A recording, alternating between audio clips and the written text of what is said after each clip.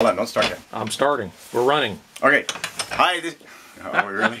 Go. Hi, this is Ken with Steambrite.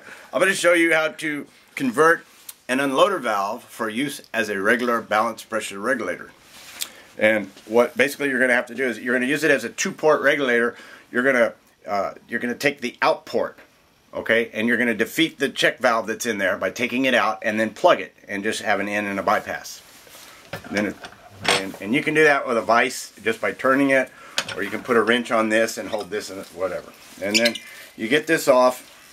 It's the out port that unscrews. N neither of these other two ports do.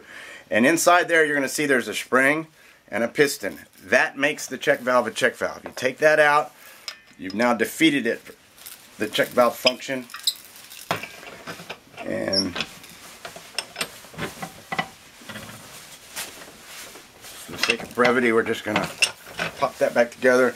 And then you take your uh, your plug that you're going to use and, and plug this. And now, now it's a two-port regulator, in and bypass. Thank you. Thank you.